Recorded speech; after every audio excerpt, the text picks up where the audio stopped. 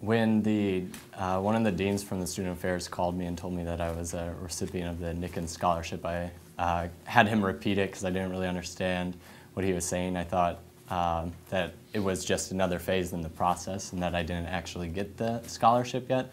And then when it hit me that I was one of the recipients, I was really honored and floored, and I had to sit down and uh, have him repeat it again, and uh, I got very excited. And um, it, I think it's a, a, testament to the AAMC that they are putting diversity in the forefront um, of their priorities, and they're identifying students around the country who are working to uh, eliminate healthcare disparities in America, and the fact that they are giving students scholarships to support those efforts uh, makes me very proud to be a medical student um, and a future physician.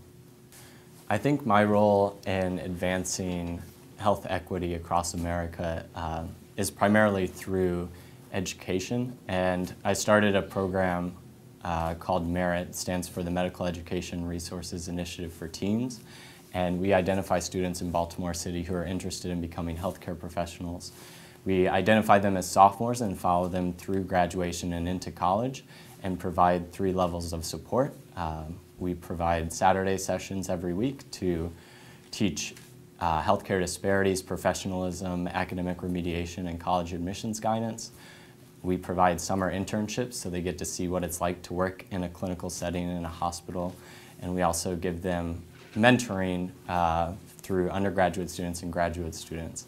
And Merit's idea is that we are creating future leaders of medicine and inspiring these students from low-income backgrounds and who are first-generation college students to become the leaders to really eliminate healthcare disparities. I think a transformative experience for me was the two years I spent teaching high school biology in Baltimore City through the Teach for America program. And as a teacher, I saw educational inequalities lead to health inequalities. And I had two students in particular that inspired the creation of merit. So one student was named Tyron, and he came in my 11th grade biology class without a good science background. He didn't know what cells were, he didn't know what DNA was, he didn't know what the heart did. And because of that, he really hated science. And he told me the first day of class, that we'd get along if I let him sleep in class and didn't bother him. Uh, but a couple months later, Tyron wrote one of the best essays in the class comparing mitochondria and chloroplasts and their roles in photosynthesis and respiration. And he started getting really excited about science. And he told me that he wanted to become a physician. Uh, so on one hand, that was really exciting to see a rapid transformation in just a few months.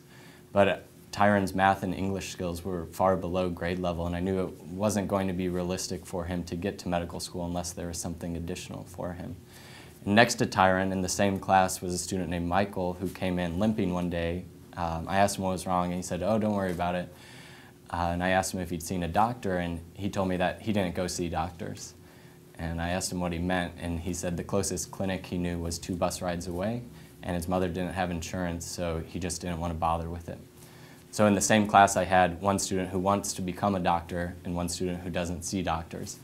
And the idea clicked that if we can help students like Tyron get to medical school, they're going to create the clinics right around Michael's corner and they're going to provide access to health care that they don't have. Um, so by creating this workforce uh, of future physician leaders, we can really eliminate healthcare disparities. The biggest piece of advice I can give any person interested in pursuing a medical career is to follow your passion. Don't worry about what looks good or what you think will help you. If you find a passion and something you're interested in, pursue that and that will come out in all of your applications and you will succeed. Don't be afraid to take risks. Get advice from people who have gone through the path above you but above all, just find something that sticks with you uh, and make sure you focus all of your efforts on building your passion and your skills. To advance health equity and diversity, I think academic leaders across the country need to focus on two things. Um, first, a lot of effort has been put into increasing diversity in the physician workforce, mainly through the medical student level and the undergraduate student level. But to really increase diversity, we need to focus on K-12 education. So I'd really recommend that academic medicine leaders work with our colleagues in K-12 education to come up with creative, innovative solutions to increase uh, the diversity and create that pipeline because that's where the real work needs to happen K-12.